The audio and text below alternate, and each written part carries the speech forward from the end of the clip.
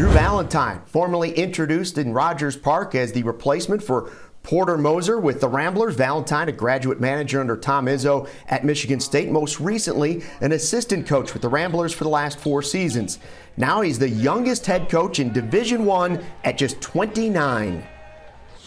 I just think my coaching style is going to reflect my experiences that I've had, um, which are different from the from the from the ones that Coach you know Coach Moser had. Coach Moser had a legendary coach and Coach Majerus to learn from. I've had you know coaches, a legendary coach to learn from. And my age, being you know playing in in this era.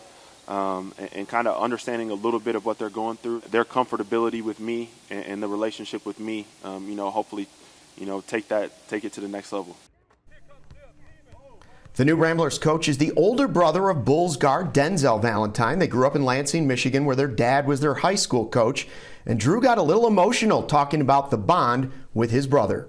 I know you probably see this video, bro, but man, like,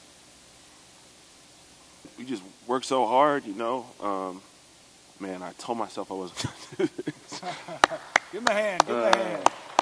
I'm just excited for him, and you know, I think he's I think he's born to lead and born to coach. It's actually going to be kind of funny to me, honestly. Like for him to actually be running the program, and like that's my brother.